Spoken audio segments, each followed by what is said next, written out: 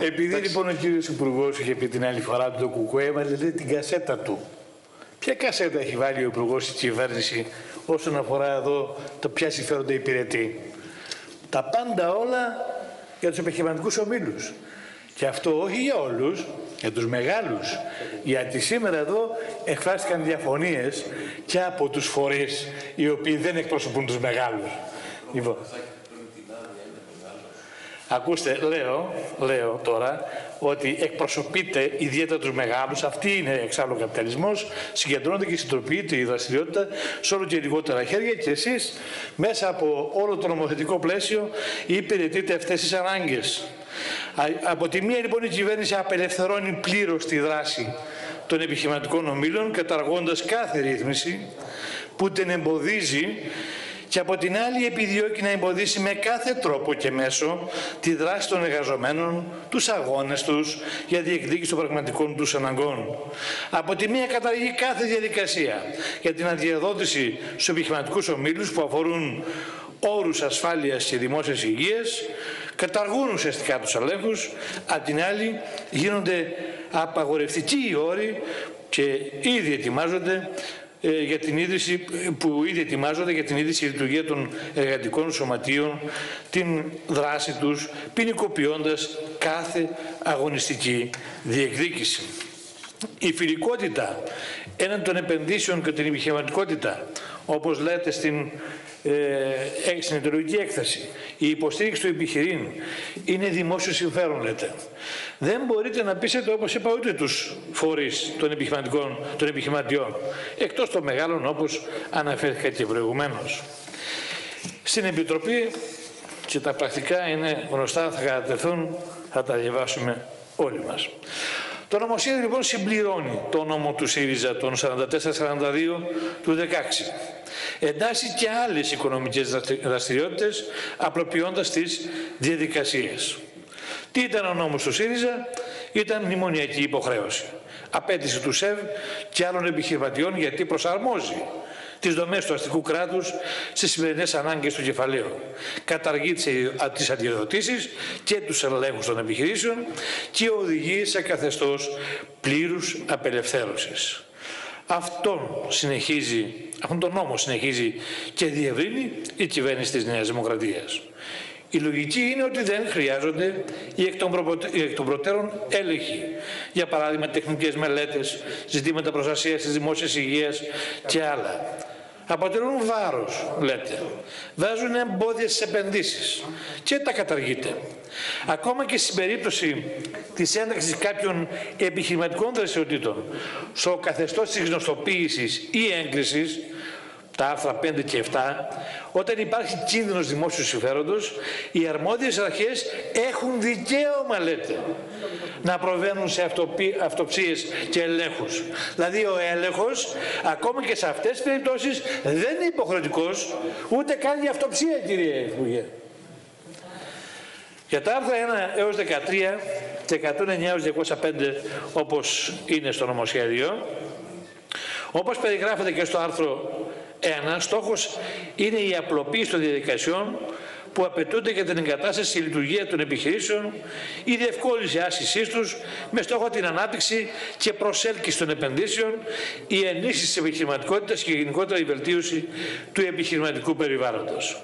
Οι 11 δραστηριότητες που περιλαμβάνονται στο νομοσχέδιο και αφορούν περιπτώσεις όπου υπάρχουν ζητήματα κινδύνου δημόσιου συμφέροντος προβλέπεται να ενταχθούν είτε στη διαδικασία του άρθρου 5 του νόμου 4442 του 16 που αφορούν υπαγωγή στη διαδικασία γνωστοποίησης δηλαδή δεν απαιτείται η έλλειψη αναγκαίων αδειών για τη λειτουργία της δραστηριότητας στον χώρο άσκησής της, αλλά μόνο η γνωστοποίηση μέσω του ολοκληρωμένου πληροφοριακού συστήματος άσκησης δραστηριοτήτων και ελέγχων ε, και η τήρηση των όποιων δικαιολογητικών για περίπτωση που γίνει κάποια στιγμή έλεγχος από τον αρμόδιο ηλεκτρικό φορέα.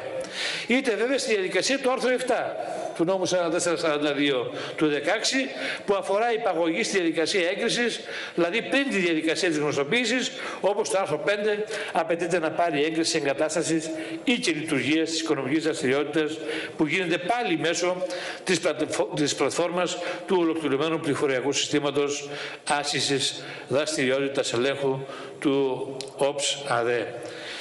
Σε συγκεκριμένα βέβαια χρονοδιαγράμματα αναδραστηριότητα. Το πρώτο μέρος λοιπόν του νομοσχεδίου έχει παρόμοια δομή για κάθε μια από τις 11 οικονομικές δραστηριότητες που περιλαμβάνει όπως την άσκηση ψυχολογικών δραστηριοτήτων, Λούνα Πάρκ, Τσίρκα και Παγοδρόμια, απλούστευση του πλαισίου ίδρυσης και λειτουργίας των κέντρων ημερήσιας φροντίδας ηλικιωμένων και των κέντρων διημέρευσης ημερήσιας φροντίδας για άτομα με αναπηρία. Εδώ ο Υπουργός αποκάλυψε ή τέλος πάντων έφερε στην τάξη την κυρία Φωτίου λέγοντας ότι τι μας λέτε εσείς το κάνατε σαν ΣΥΡΙΖΑ. Είτε ο ΣΥΡΙΖΑ είτε εσείς νομίζω ότι εδώ ε, έχετε ε, λειτουργείτε μάλλον μια τέτοια υπηρεσία αναγκαία και που πρέπει να είναι αποκλειστικά στο δημόσιο τομέα με έλεγχο και με όρους τέτοιους που θα διασφαλίζουν την, την υγεία, τη φροντίδα των ηλικιωμένων, εσείς λοιπόν εδώ την εντάσσετε σε αυτές τις διαδικασίες. Όπως είναι τρίτο η απλούστευση του πλαισίου είδηση λειτουργίας σχολών ναυαγοσυστική εκπαίδευσης, που και αυτά έχουν κινδύνους, η απλούστευση ε, ε, της εκμήθωσης θαλάσσιων μέσων αναψυχής, της λειτουργίας σχολών επαγγελματικής κατάρτισης μεταφορέων, της ίδρυση λειτουργία σχολών επαγγελματικής κατάρτισης οδηγών, οχημάτων μεταφοράς επικίνδυνων εμπορευμάτων, του πλαίσιου λειτουργίας χώρων στάθμης αυτοκινήτων, μοτοσυκλητών και μοτοποδηλάτων, του πλαισίου λειτουργίας πλυντηρίων, λιπαντηρίων οχημάτων που ακούσαμε πολλά εδώ από τον κύριο Ασμάτογλου, του πλαισίου λειτουργίας σταθμού υπεραστικών λεωφορείων, του πλαισίου λειτουργίας χώρων στάθμης βαρέων οχημάτων, την ίδρυση και λειτουργία συνεργείων οχημάτων, που και εδώ ακούσαμε τις αντίθετες απόψεις του κυρίου Σκορίνου όπου η ίδρυση λειτουργία συνεργείων οχημάτων εντάσσεται στο άρθρο 5 του νόμου 4442 του 16 που είχε εξαιρεθεί, που δηλαδή απαιτείται απλά διαδικασία γνωστοποίησης.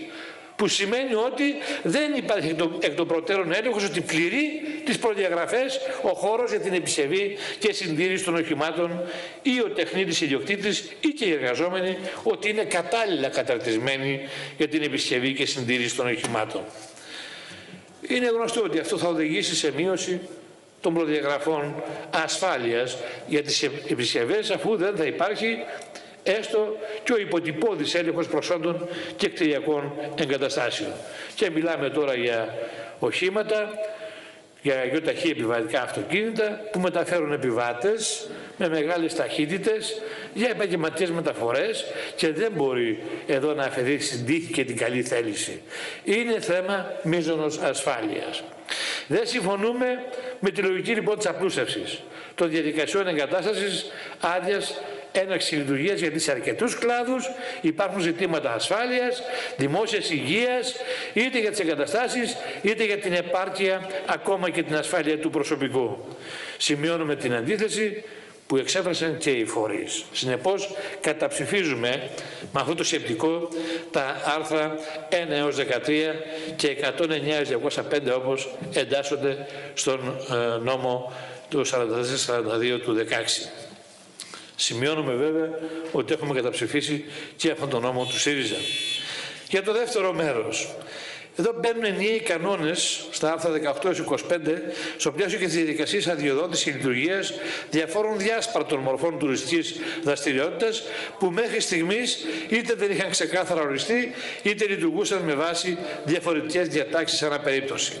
Το πλαίσιο και εδώ είναι αντίστοιχο του πρώτου μέρους με απλουστεύσεις, ελαστικούς όρους, με έλλειψη ελέγχων, με ό,τι αυτό σημαίνει για, το δημόσιο, για τη δημόσια υγεία, γιατί μιλάμε για υγειονομικού ενδιαφέροντος ε, ε, ε, δραστηριότητες, αλλά και οι υπόλοιπες που εντάσσονται εδώ στα άρθρα είναι ζητήματα ε, σοβαρά. Γι' αυτό και δεν ψηφίζουμε τα άρθρα τα συγκεκριμένα. Με το άρθρο 20... με το άρθρο 29 Προσθέτονται περιοχές που μπορούν να εγκατασταθούν υπό προποθέσει τα κέντρα αποθήκευσης και διανομής ε, εντός και αστικού οικιστικού ιστού. Και αυτό είναι ένα σοβαρό ζήτημα που δεν μπορεί να συμφωνήσει κάποιος μαζί του. Στο άρθρο 32 δεν συμφωνούμε, εξάλλου εξέφρασε και τη διαφωνία του και ο ίδιος ο, ο δήμαρχος της περιοχής με βάση αυτό το άρθρο διχτίζονται οι προϋποθέσεις ίδρυσης και ανάπτυξη επιχειρηματικού πάρκου στα Ινόφυτα. Ε, γενικά στις προϋποθέσεις για την ίδρυση του επιχειρηματικού πάρκου πρέπει να έχει διασφαλιστεί η κυριότητα ή η συνένεση των ιδιοκτητών της γης για τη δημιουργία του πάρκου. Να έχει διασφαλιστεί σε ποσοστό τουλάχιστον 55% η έκταση που θα καταλαμβάνει το επιχειρηματικό πάρκο. Εσείς λοιπόν το καταργείτε αυτό, δημιουργώντας ζητήματα που όπως ε, εδώ ακούσατε υπάρχει και ομόφωνη απόφαση του Δημοτικού Συμβουλίου που διαφωνεί με αυτή τη ρύθμιση που εσείς εισάγετε. Για το άρθρο 33 48 μεταφέρεται τις αρμοδιότητες εμπορικού σήματος στον Οργανισμό Βιομηχανικής Ιδιοκτησίας σε έναν οργανισμό ιδιωτικού δικαίου. Δεν είναι το ίδιο πράγμα. Μπορεί να είναι ένας φορέας της γενικής κυβέρνησης, αλλά πόσοι φορείς τέτοιοι δεν έχουν ήδη ε, φύγει από την γενική κυβέρνηση και δεν έχουν πάει στους ιδιώτες. Πολύ εύκολα μπορεί ο οργανισμός βιομηχανικής ιδιοκτησίας να γίνει ένα παράρτημα του Συνδέσμου Ελλήνων Βιομηχάνων. Και εκεί βέβαια θα έχουμε αυτές τις συνέπειες της ρύθμισης που εδώ αναπτύχθηκαν πολύ καλά από τους εργαζόμενους του Υπουργείου Ανάπτυξης όπου πάει όλος, όλοι, όλα τα εμπορικά σήματα μεταφέρονται στον οργανισμό με ό,τι αυτό σημαίνει για μια λειτουργία τέτοια, ε, με τέτοια κριτήρια ιδιωτικοκρομικά που βέβαια και εδώ αυτοί που θα στερηθούν ή θα δυσκολευτούν για το σήμα θα είναι οι μικροί επαγγελματίες ή αυταπασχολούμενοι και όχι οι μεγάλοι επιχειρηματίες. Τέλος για το άρθρο 60, Τραναφυγίας Καραμαγκά. Οι κυβερνήσεις μέχρι τώρα έκαναν διάφορες επιλογές κάθε φορά επιχειρηματολογούσαν για την, την αναγκαιότητα της όποιας επιλογής από τον ιδιώτη στο δημόσιο και πάλι στον ιδιώτη και οι εργαζόμενοι αλλά και συνολικά ο λαός πληρώνει αυτές τις επιλογές της αστικής τάξης. Η άδεια λειτουργίας, όπως είπαμε εδώ και δεν απάντησε ούτε ο πρόεδρος του Σωματείου, ίσως να του διέφυγε, διαχωρίζεται σε δύο άδειες, αορίστου χρόνου. Μία λοιπόν στην ΑΕ ελληνικά ναυπηγεία και μία στην ΑΕ ακινήτων του δημοσίου. Θέλετε να διευκολύνετε την πώληση. Αυτό είναι καθαρό. Και εδώ την, και την άλλη φορά, αλλά δεν ξέρω σήμερα αν ο κύριος υπουργός εδώ θα μας πει κάτι, ε, κάνουν λόγο δημοσιεύματα για, για δύο νέους διαγωνισμούς μετά το Πάσχα ένα από την εταιρεία κινήτων του δημοσίου και έναν από τον ειδικό διαχειριστή. Και μπαίνει βέβαια μπροστά το ζήτημα των 350 στρεμάτων που έχει ο καθένας για ιδιωτικοποίηση. Ο βασικός εξοπλισμός και οι εγκαταστάσεις βρίσκονται στο ειδικό διαχειριστή και στην ΕΤΑΔ υπάρχει κυρίως η μεγάλη κτιστή δεξαμενή. Φαίνεται ότι εδώ μεγάλες επιχειρήσεις logistics έχουν, θέλουν να έχουν αυτό, αυτή την έκταση. Δεν μας είπατε ούτε την προηγούμενη φορά που το αναφέραμε αυτό και φαντάζομαι τώρα να μας πείτε κάτι, να μας φωτίσετε γύρω από τους σχεδιασμούς που υπάρχουν για αυτό το ζήτημα. Ωστόσο όμως, εδώ οι εργαζόμενοι έχουν πάρα πολλές οφειλές που δεν έχουν καταβληθεί σε αυτούς και από την προηγούμενη ιδιοκτησία και από το δημόσιο και βέβαια θα έχουν την τύχη και των άλλων εργαζομένων από, τα άλλα, από τις άλλες επιχειρήσεις που ιδιωτικοποιήθηκαν, που και εκείνοι έχασαν τη δούλεψή τους, τον υδρότα τους τόσα χρόνια. Τέλος θέλουμε να σημειώσουμε ότι τα όποια μέτρα απελευθέρωσης της δάσης του κεβαλαίου θα επιδεινώσουν τους όρους ζωής των εργαζομένων και των βιοπελεστών της πόλης και της υπαίθρου. Η συνέχεια που δίνει η κυβέρνηση με άλλα νομοσχέδια που θαρακίζουν την κερδοφορία του κεφαλαίου, με κύριο αυτό της κατάργησης του οκταόρου, μετά από 135 χρόνια, την ομοθέτηση δεκαόρου, την κατάργηση αμοιβής των επιρροών, την ποινικοποίηση της εικασικής δράσης, την περιστολή δημοκρατικών και συγχαριστικών ελευθεριών, οδηγεί σε καθεστώς γαλέρα με τραγικές συνέπειες για, για τις εργατικές λαϊκές οικογένειες. Οι εργαζόμενοι δεν έχουν άλλο δρόμο από αυτόν τον αγώνα. Εμείς είμαστε βέβαιοι ότι στους δρόμους του αγώνα θα κρυθεί το δίκαιο και όσα μέτρα αυταρχισμού κι αν πάρετε, τελικά η εργατική τάξη είναι αυτή που θα πει την τελευταία λέξη στους σχεδιασμούς τους δικούς σας, που είναι βέβαια σχεδιασμοί του μεγάλου κεφαλαίου. Ευχαριστώ κύριε Πρόεδρε.